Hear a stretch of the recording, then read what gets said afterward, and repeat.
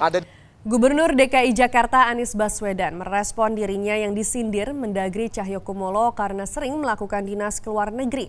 Anies beralasan melakukan perjalanan dinas ke luar negeri untuk mengajak orang melakukan kegiatan di Indonesia. Anies mendorong Mendagri segera menerbitkan aturan tersebut. Ia mengaku senang jika ada peraturan terbuka dan diumumkan langsung Mendagri. Anies mengaku sudah melakukan segala hal sesuai prosedur. Mendagri sebelumnya mengungkapkan aturan ini diterbitkan dalam rangka tertib administrasi dan koordinasi pelaksana perjalanan dinas luar negeri, sebab ada sejumlah kepala daerah yang tak mengajukan izin ke Kemendagri.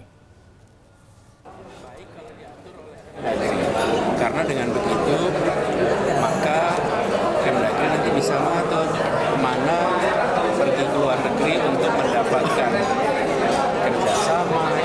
investasi, bisnis, dan pergi jalan-jalan. Saya alhamdulillah setiap kali pergi justru untuk mengundang orang datang ke Indonesia, mengajak orang berkegiatan di Indonesia, termasuk membawa untuk formula